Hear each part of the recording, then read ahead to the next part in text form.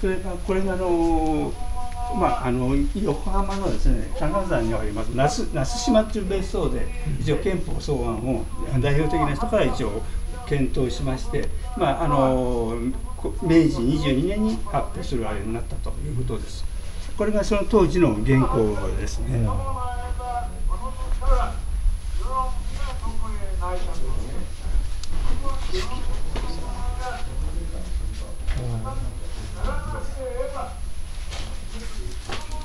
でこちらの今遺体がありますけどもこれはあの総楼閣の廊下にあのああのあったものなんですね、はいそこに書いてある明治天皇から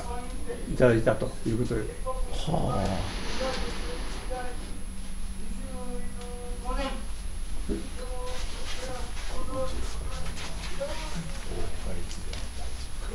これはあの憲法ですね、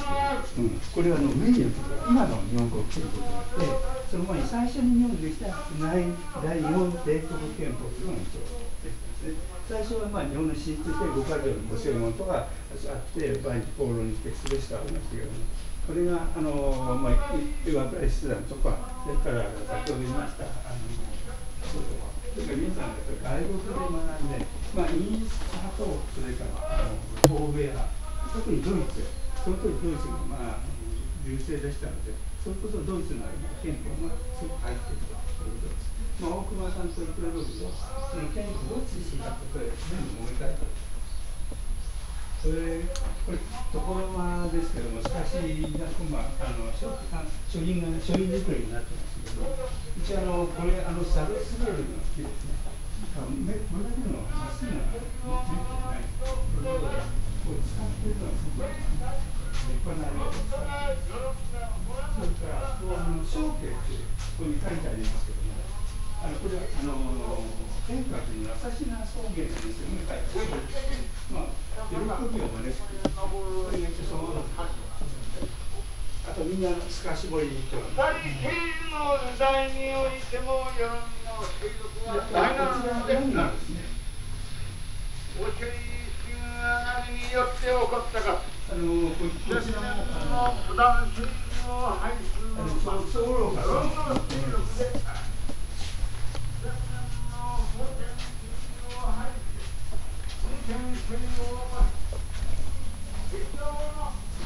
まあこういうふうに廊下も古いやつを取ってあるということですね。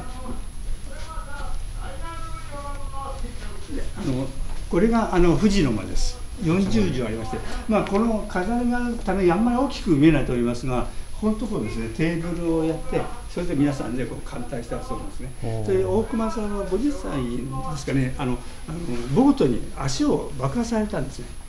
ですから右足がこうないんですよそれでここでいつもあのテーブルで一応やってたりです。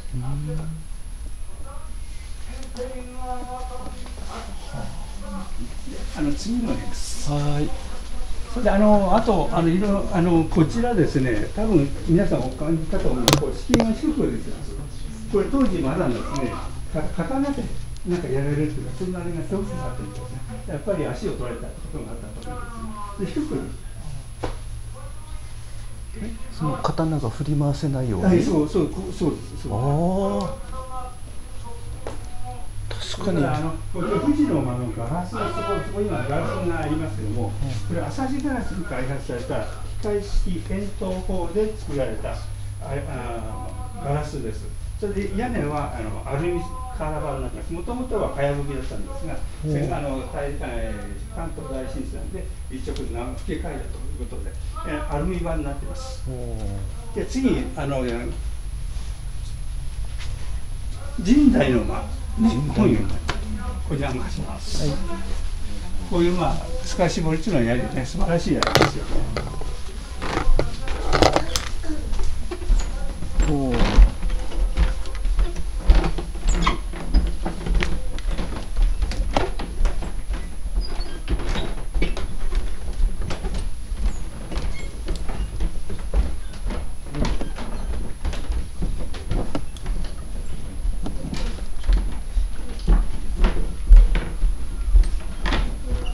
ほう。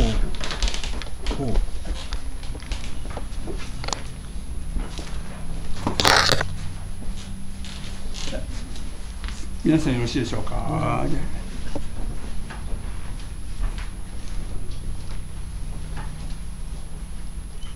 あの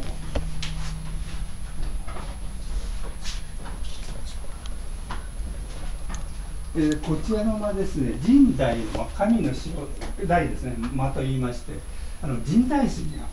ふんだんに使われていますまあ、あの人体水っていうのは、まあ、あの火山の爆発とかいろんな川の流れによって地下にも漏れた水を掘り起こしてあの作られたものです。まあ、それはすごくまあ貴重でありあの丈夫であるということで、まあ、これはあの全部あの使われてますね。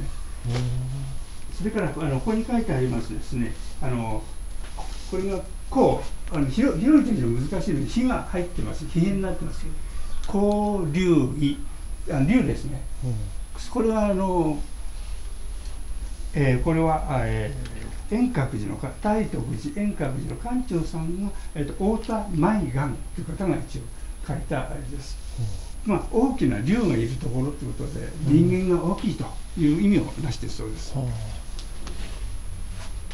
まあ、神代のまあちょっと廊下がこれで廊下は歩かないでいただきたいと思います。これあのガラスもですね特殊なあれでして、まあ、ベベルギーから技術輸入されたもので鉄器円筒法で作られたということで実際のあれちょっと分かりませんけどそういう方法で作られたあれです。ちょっとあの何があるっていうような感じがすると思いますけどね、うん、あのここはあ大熊さんの書斎と寝室になったとあの彼が見たことあるかな昔ね、まだこの、あの、女装の前の、あの、こういう会話をやって、会話が中に入んないよね、刺されない。こういうのをやってたんですよね。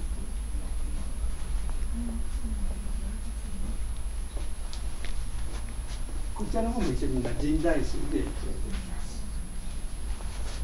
これあのもともとですね、あの先ほど申し上げましたように、あと右足がありませんで、このあの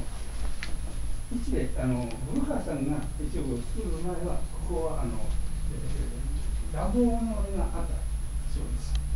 それであの向こうにあのガス室ガスでこうあのやったようですけど実際にはあの木造木で木の巻きでやったんじゃないかというそれはっていう分かりませんがその後あのこれをこの間に古川一兵衛さんが直したと。これはやっぱり竹もやっぱり素晴らしいでしょこれあのだけですよね。太いような手が。まあ、それだとこの傘はですね、これは銅製だとして、銅、足を銅、銅ですね。うん、10キロぐらいあるそうです、これ。ちょっと測ったことないんですけど。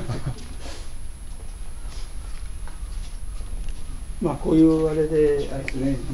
庭なども素晴らしいあれですね。うんじゃ次に今度はあの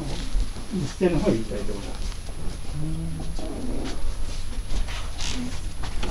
まあ、あのそれぞれまあ家族の部屋とかそういうのありますけども、そちらの方はただあの覗くだけにしてください。はい。これもまあそれでヒノキの一枚に相談して。